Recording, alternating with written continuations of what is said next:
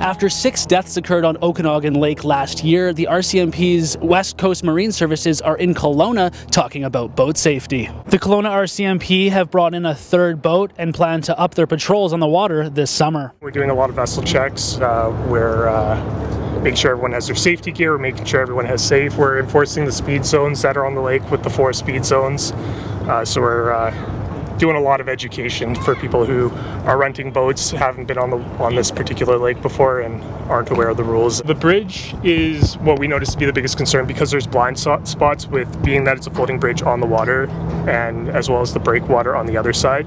People be coming around as someone's speeding through, and there's a huge risk of collision. Kelowna RCMP officer Michael Della-Paolera was quick to address the common thread surrounding deaths on Okanagan Lake. Alcohol and a lack of life jackets, uh, inexperienced swimmers. Unfortunately we had a couple of inexperienced swimmers that went out into the water, uh, uh, and they just. Uh, you know they didn't they didn't survive.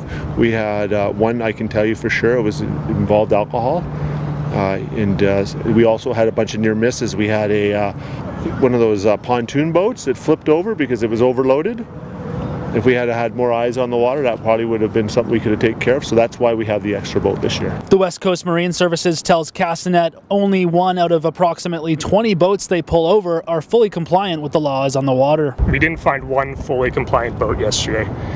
And uh, again, if it's a life jacket, you're getting a ticket. You should know better. But if it's a no batteries in your flashlight or you're missing your flares, generally we're going to direct you, hey, can you go to the marina? They're, they can sell you it because I'd rather someone spend 100 bucks and have their boat safe than giving them a $230 ticket. As wildfire season approaches, the RCMP want to remind people on the water to stay out of the way of water bombers and that anyone found obstructing them from doing their job can be fined $1,150 under the Wildfire Act of BC.